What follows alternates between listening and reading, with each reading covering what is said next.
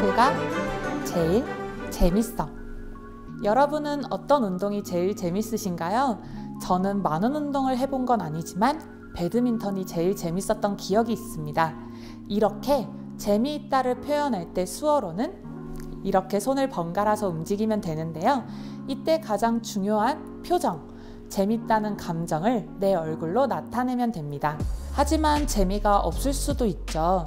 이때는 재미없다는 표정과 함께 재미없다라고 하면 됩니다. 이 수어는 없다라는 표현으로 이렇게 사용하기도 하고 이렇게 사용하기도 합니다. 그럼 같이 한번 해볼까요?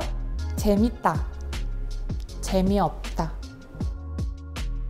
재밌다. 재미없다.